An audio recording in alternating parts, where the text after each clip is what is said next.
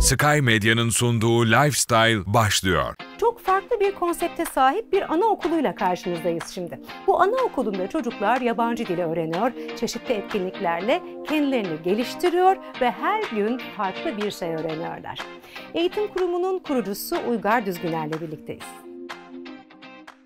Hoş geldiniz Uygar Bey. Hoş bulduk, merhaba. Nasılsınız? Sağ olun, siz nasılsınız? Ben de çok iyiyim, teşekkür ederim. Sohbetimize başlamadan önce ilk olarak sizi daha yakından tanıyabilir miyiz? Tabii ki ismim Uygar Düzgüner. Ee, NG School Anaokulu kurucularındanım. Ee, 32 yaşındayım. Öğretmenim. Ee, mesle mesleğime de zaten öğretmen olarak başladım. Ve ilerleyen yıllarda da e, bir hayalimiz vardı. Anaokulu kurma hayali. Ve o süreçte de anaokulumuzu kurduk. Peki, İngilizce anaokulunun çocuklar üzerindeki etkileri nelerdir? Neden okul öncesi eğitimde İngilizce gerekli? İngilizce anaokulu bil, bilhassa özellikle velilerimiz tarafından ön yargılı yaklaşılan bir süreç. Yani işte bir yabancı dilin e, henüz 3, 3 yaşındaki, 4 yaşındaki bir çocuğa okutulması noktasında velilerimiz haklı olarak bir e, e, ön yargı yaşıyorlar, bir kaygı yaşamaktalar.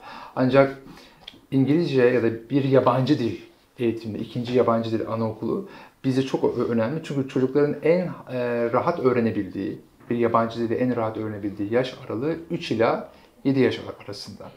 Yani 3 ile 7 yaş arasında çocuklar bir yetişkinden çok daha rahat bir şekilde ikinci yabancı dilini yani ikinci yabancı dili e, öğrenebilirler, konuşabilirler ve günlük hayatlarına bunu entegre edebilirler.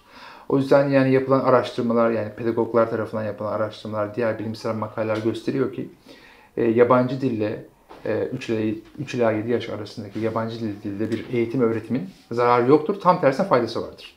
Peki anaokulunuzun odak noktasını ne oluşturuyor? Amaçlarınız ne yönde? Yani anaokulumuzun odak noktası ile ilgili birçok şey söyleyebiliriz ama temel noktalarımızı ben ifade edeyim. Odak noktamız tabii ki çocukların güvenliği. Yani bizim için, bütün anaokulları için öyle.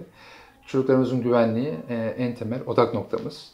Bu bizim için vazgeçilmez bir şey. Buradan Burada güvenli bir şekilde eğitim öğretim faaliyetlerine devam edebilmeleri tabii ki.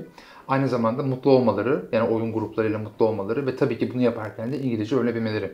Çok güzel.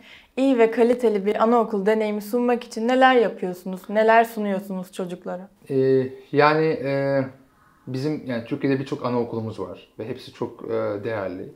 Biz de e, iyi bir anaokulu olmak için, çocuklara kaliteli bir eğitim vermek için malzememiz, malzememizden tutun da e, yediğimiz, e, onlara verdiğimiz yiyeceklere kadar e, çok büyük aslında özen gösteriyoruz. Özen göstermek zorundayız. Çünkü bu bizim hem yasal bir zorunluluğumuz hem de insani bir görevimiz. Yani çünkü biz burada birçok çocuktan sorumluyuz. Yani onların can güveninden sorumluyuz.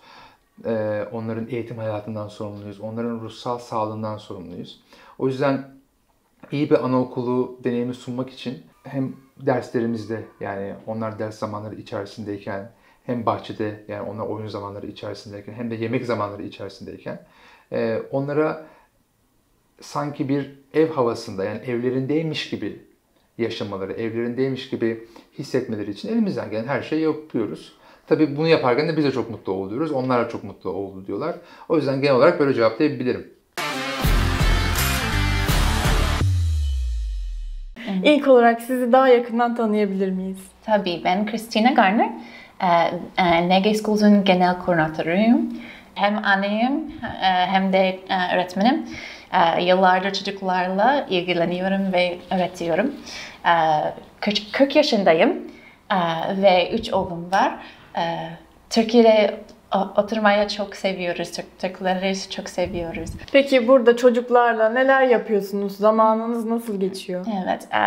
Şey çok eğlenceli oynarak öğreniyoruz bu arada. Çocuklar yaş göre şey bu yaş oynarak öğreniyor öğreniyor ve şey dünyamız keşfediyoruz. Şey her gün şey farklı farklı istasyonları yapıyoruz çocuklar.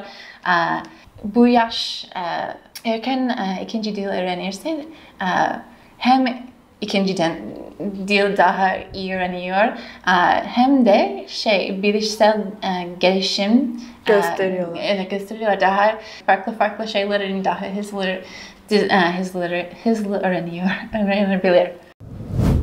Programımız kaldığı yerden devam ediyor. Sky Medya'nın sunduğu Lifestyle sona erdi.